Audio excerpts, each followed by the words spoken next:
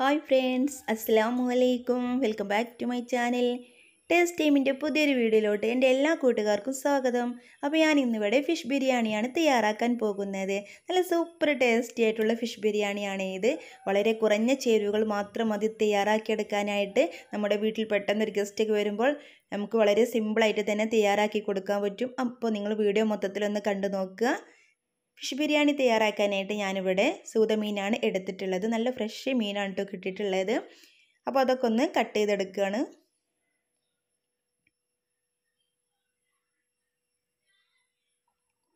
അങ്ങനെ ഇപ്പോൾ ഇതാ കട്ട് ചെയ്യലും കാര്യങ്ങളൊക്കെ കഴിഞ്ഞിട്ടുണ്ട്. ഇനി നമുക്ക് നല്ല പോലെ ഒന്ന് കേകിയെടുക്കാം. ഞാനിപ്പോൾ ഇതിവിടെ മൂന്നാൽ പ്രാവശ്യം ഒന്ന് കേകി എടുത്തിട്ടുണ്ട് ഇനി നമുക്കിതിലോട്ടുള്ള മസാലപ്പൊടി ഒന്ന് തയ്യാറാക്കാം. ഒരു ടീസ്പൂൺ മഞ്ഞൾപ്പൊടി ഒരു ടീസ്പൂണോളം മുളക് പൊടി ആവശ്യത്തിനുള്ള ഉപ്പ് ഒരു നാരങ്ങയുടെ നീര്. ഇനി വിനാഗിരി ചേർത്ത് കൊടുത്താലും മതി കേട്ടോ. എന്നിട്ട് ഇതെല്ലാം കൂടെ ഒന്ന് നല്ല പോലെ ഒന്ന് മിക്സ് ചെയ്തെടുക്കാം.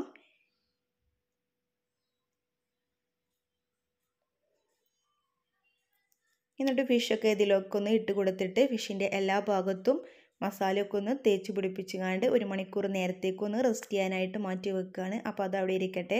ആ ടൈം ടൈം കൊണ്ട് തന്നെ ഞാൻ അതിലോട്ടുള്ള ഉള്ളിയും കാര്യങ്ങളൊക്കെ ഒന്ന് തയ്യാറാക്കി എടുക്കുന്നുണ്ട്. അതുപോലെ തന്നെ തക്കാളിയും കട്ട് ചെയ്തെടുത്തിട്ടുണ്ട്. ഇനി ചപ്പും പൊതിനയും കൂടെ ഒന്ന് അരിഞ്ഞെടുക്കാം. അതും അവിടെ റെഡി ആയിട്ടുണ്ട്. ഇനി അടുത്തതായിട്ട് ഞാൻ ചെയ്യാൻ പോകുന്നത് ഫിഷൊക്കെ ഒന്ന് ഫ്രൈ ചെയ്തെടുക്കുകയാണ്. മാരിനേറ്റ് ചെയ്ത് വെച്ചിട്ട് ഒരു മണിക്കൂർ കഴിഞ്ഞിട്ടുണ്ട്. ഞാൻ ഫ്രിഡ്ജിൽ വെച്ചിരിക്കുന്നു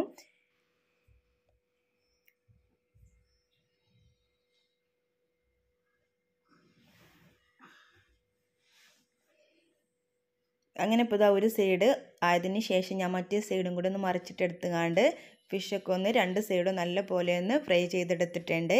ഇനി നമുക്കിതൊരു പ്ലേറ്റിലോട്ട് മാറ്റി കൊടുക്കാം.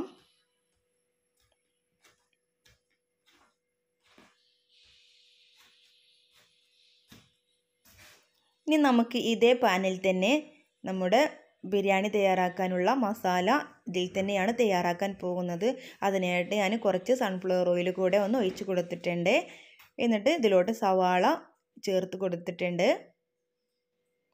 സവാള നല്ല പോലെ ഒന്ന് വഴ വഴറ്റിയെടുക്കേണ്ടതായിട്ടുണ്ട്. അപ്പോൾ അതിലേട്ട് ആവശ്യത്തിനുള്ള ഉപ്പും കൂടെ ഒന്ന് ചേർത്ത് കൊടുത്തിട്ട് നല്ല പോലെ ഒന്ന് വഴറ്റിയെടുക്കാം.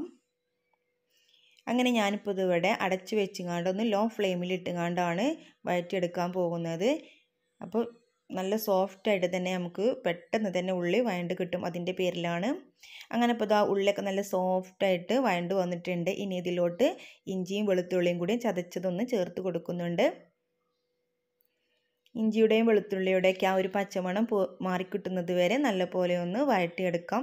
അതിന് ശേഷം ഒരു പച്ചമുളകും കൂടി കീറിയത് ഇട്ട് കൊടുത്തിട്ടുണ്ട്. അതിലോട്ട് ഒരു ടീസ്പൂൺ മഞ്ഞൾപ്പൊടി അതുപോലെ തന്നെ മുളക് പൊടി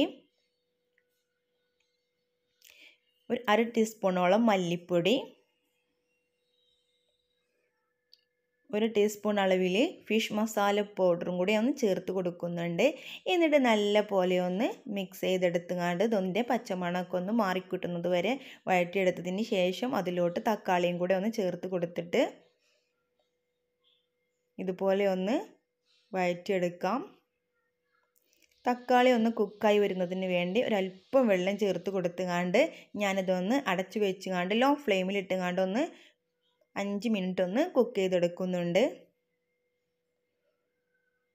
അങ്ങനെ ഇപ്പോൾ ഇതാ തക്കാളിയും ഉള്ളിയും ഒക്കെ നല്ല പോലെ ഒന്ന് കുക്കായി വഴണ്ട് വന്നിട്ടുണ്ട് നല്ല പോലെ ഉടഞ്ഞു വന്നിട്ടുണ്ട്.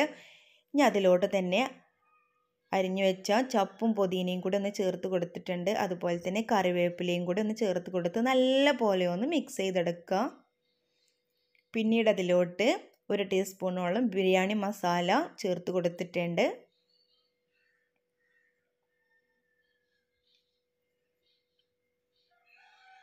ആവശ്യത്തിനുള്ള തൈര് പുളിക്ക് ആവശ്യത്തിനുള്ള തൈര് എടുക്കാവുന്നതേ ഉള്ളൂ. ഞാനിപ്പോൾ ഇവിടെ കാൽ കപ്പോളം തൈര് എടുത്തിട്ടുണ്ട്. നല്ല പുളിയുള്ള തൈരാണ്. അതിന്റെ പേരിലാണ് കാൽ കപ്പ് എടുത്തിട്ടുള്ളത്. ഇനി നമുക്കിതിവിടെ അടച്ചു വെക്കാം. അടുത്തതായിട്ട് ഉള്ളിയൊക്കെ ഒന്ന് ഫ്രൈ ചെയ്തെടുക്കാം. അതിനായിട്ട് ഞാനൊരു പാനിൽ നെയ്യാണ് ഒഴിച്ച് കൊടുത്തിട്ടുള്ളത്. നെയ്യൊക്കെ നല്ലപോലെ ചൂടായി വന്ന ടൈമിൽ ഉള്ളി അതിലൊക്കെ ചേർത്ത് കൊടുത്തിട്ടുണ്ട്.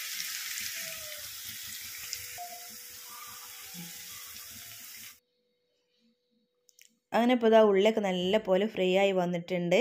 ഇതുപോലെ ഗോൾഡൻ കളറാകുമ്പോൾ തന്നെ നമ്മൾ നിന്ന് മാറ്റിയെടുക്കേണ്ടതുണ്ട്. അല്ലെങ്കിൽ പെട്ടെന്ന് തന്നെ ഉള്ളി കരിഞ്ഞു പോകും അതിന്റെ പേരിലാണ്. നമുക്ക് അടുത്തതായിട്ട് അരിയൊക്കെ ഒന്ന് വേവിക്കാനായിട്ട് നിൽക്കാം അതിനായിട്ട് ഞാൻ ഒരു പാത്രത്തിൽ വെള്ളം വെച്ച് കൊടുത്തിട്ടുണ്ട്. വെള്ളമൊക്കെ നല്ല പോലെ ചൂടായി വന്നപ്പോൾ അതിലോട്ട് കറുകപ്പട്ടയും ഏലക്കായും ആവശ്യത്തിനുള്ള ഉപ്പും അതുപോലെ തന്നെ കുറച്ച് ഓയിലും കൂടെ ഒന്ന് ചേർത്ത് കൊടുത്തിട്ടുണ്ട്. എന്നിട്ട് അരി ഇട്ട് കൊടുത്തിട്ടുണ്ട്. ഇനി നമുക്കിതൊരു എൺപത് ശതമാനത്തോളം ഒന്ന് കുക്ക് ചെയ്തെടുത്താൽ മാത്രം മതി. ബാക്കി ദം ചെയ്തെടുക്കുമ്പോൾ അതിൽ കിടന്ന് തന്നെ വേവും. അതിന്റെ പേരിലാണ് എൺപത് ശതമാനം കുക്ക് ചെയ്തെടുക്കുന്നത്. അങ്ങനെ ഇപ്പോൾ ഇതാ ഇവിടെ അരിയൊക്കെ ഒന്ന് പാകത്തിന് കുക്കായി വന്നിട്ടുണ്ട്. ഇനി ഞാനിതൊരു സ്റ്റെയിനറിലോട്ട് മാറ്റി കൊടുക്കുകയാണ്. അടുത്തതായിട്ട് ഇനി ബിരിയാണി നമുക്ക് ദം ചെയ്തെടുക്കാനുള്ള പരിപാടി മാത്രമേ ഉള്ളൂ. അതിനായിട്ട് ഞാൻ വലിയൊരു പാൻ വെച്ച് കൊടുത്തിട്ടുണ്ട്. ഇതിലാണ് ഞാൻ ദം ചെയ്യുന്നത്. അതിനായിട്ട് ആദ്യം തയ്യാറാക്കി വെച്ച മസാലക്കൂട്ട് ഞാൻ ഈ പാനിലോട്ട് ഇട്ട് കൊടുത്തിട്ടുണ്ട്. അതിൽ നിന്ന് ഞാനൊരു ടീസ്പൂൺ മസാല ആദ്യം എടുത്ത് മാറ്റി വെച്ചിട്ടുണ്ട് കേട്ടോ. എന്നിട്ട് അതിലോട്ട് ഫ്രൈ ചെയ്യാത്ത ഫിഷ് രണ്ട് കഷ്ണം ഫിഷ് ഞാൻ ഇതിലോട്ട് ചേർത്ത് കൊടുക്കുന്നുണ്ട്. എന്നിട്ട് ഫ്രൈ ചെയ്തെടുത്ത് വെച്ച ഫിഷും കൂടെ ഒന്ന് ഇതിന്റെ മുകളിലായിട്ടൊന്ന് നിരത്തി കൊടുക്കാം. എന്നിട്ട് അതിന്റെ മുകളിലായിട്ട് ചോറ് ഫസ്റ്റ് ലെയറായി കണ്ട് ഞാൻ ഇട്ട് കൊടുത്തിട്ടുണ്ട്. എന്നിട്ട് നമ്മൾ ആദ്യം മാറ്റി വെച്ച ആ മസാലയിൽ നിന്ന് കുറച്ച് മസാല ഞാൻ ഇതിന്റെ മുകളിലൊന്ന് ചേർത്ത് കൊടുക്കുന്നുണ്ട്. അങ്ങനെ ചേർത്ത് കൊടുക്കുമ്പോൾ ഫിഷ് ബിരിയാണിക്ക് പ്രത്യേക ഒരു ടേസ്റ്റാണ് ഇതിന്റെ മുകളിലായിട്ടൊന്ന് വെച്ച് കൊടുക്കുമ്പോൾ ദം ചെയ്യുമ്പോൾ. അങ്ങനെ ഇപ്പോൾ രണ്ടാമത്തെ ലെയർ ചോറും ഞാൻ ഇട്ട് കൊടുത്തിട്ടുണ്ട്. ബാക്കി ഫ്രൈ ചെയ്തെടുത്ത് വെച്ച ഫിഷും കൂടെ ഇതിന്റെ മുകളിലായിട്ടൊന്ന് വെച്ച് കൊടുക്കാം. നമ്മൾ പൊരിച്ച് മാറ്റി വെച്ച ഉള്ളിയും കൂടെ ഈ ടൈമിൽ നമുക്ക് ഇട്ട് കൊടുക്കാവുന്നതേ ഉള്ളൂ.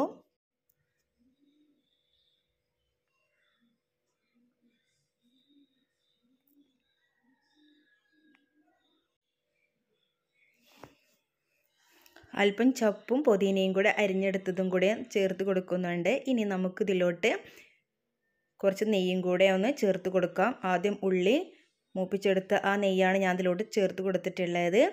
ഇനി ഇതിവിടെ ലോ ഫ്ലെയിമിൽ ഇട്ടുകൊണ്ട് ഇരുപത് മിനിറ്റ് ഒന്ന് നമുക്ക് ദം ചെയ്തെടുക്കാം. അങ്ങനെ ഇപ്പോൾ ഇതാ ഇരുപത് മിനിറ്റ് കഴിഞ്ഞതിന് ശേഷം ഞാൻ തുറന്ന് നോക്കിയിട്ടുണ്ട്.